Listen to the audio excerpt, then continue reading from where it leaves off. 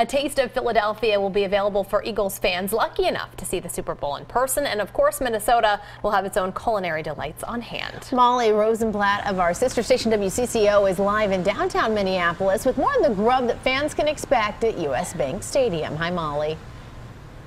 Hi. Yes, yeah. I'm right here along the Nicollet Mall in downtown Minneapolis, which will play host to the NFL Live Experience. This is a chance for fans who want to be a part of all the Super Bowl fun but can't afford a ticket to the game.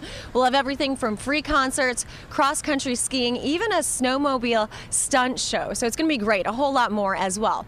But for those who are, are able to get into the Super Bowl, I got a chance earlier today to taste the Super Bowl 52 menu, and it is full of flavors of the Bold North.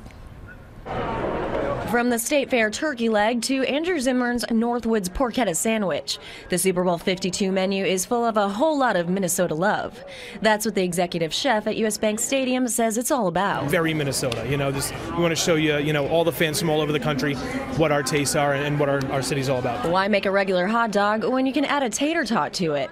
The menu's been a year in the making for Chef, and he's excited for Super Bowl goers to get their hands on these items. The flavors of Minnesota are very unique to Minnesota. Um, not a lot of, you don't see a lot of this stuff outside of here. So I think they're really going to respond well to it and, and, and enjoy something different. So these are two of my absolute favorites out of everything they have here, not only because they represent Minnesota, but also Minneapolis. We have the walleye chowder and the Kramarczuk's wild rice brat. So let's just go ahead and give it a go.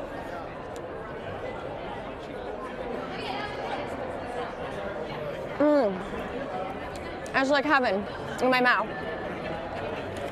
Here we go. I'm going for it. No competition at all. Husband and wife and business partners Darren and Tanya Kerr enjoy a little friendly competition with their signature cheese curds, Blue Moon Bacon, and jalapeno. All of our people that are working in the Blue Moon Bacon stand I always say, Tanya, can you go down and get me some jalapeno cheese curds? and I say, no, this is the Blue Moon Bacon stand. So yeah. we'll call each other and I'll say, how's it going? And he'll go, fine, how about you? And I'm like, I'm not giving away any secrets. Yeah. so now it's just fun banter. So everybody wins when they're great cheese curds. So.